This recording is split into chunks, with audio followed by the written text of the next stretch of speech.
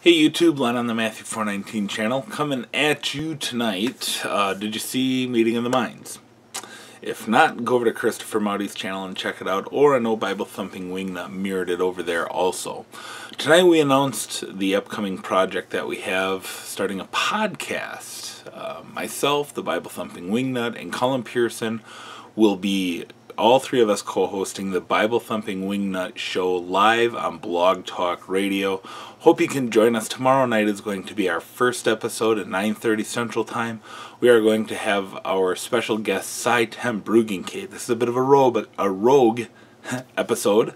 And um, to steal from uh, the Meeting of the Minds, uh, it's a bit of a rogue, rogue episode. It's been a year uh, as of tomorrow since How to Answer the Fool was first released uh, to the public, and we want to talk to Sye about that, about his upcoming debate with Matt Dillahunty, and we'll probably get into uh, what we plan on doing with the show in a little bit more detail.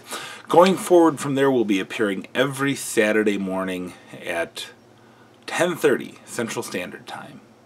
Check us out on Facebook, Bible Thumping Wingnut Show podcast. I think it's set up as BTWN Podcast, actually.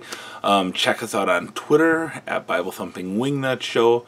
Um, come find us on Blog Talk Radio. All the links are going to be down below in the description box. So we hope to see you every Saturday morning. By the way, it's a call-in show, so you can call in and interact with us. So we look forward to seeing you on the Bible Thumping Wingnut Show on Blog Talk Radio. Thanks for watching, guys. Bye-bye.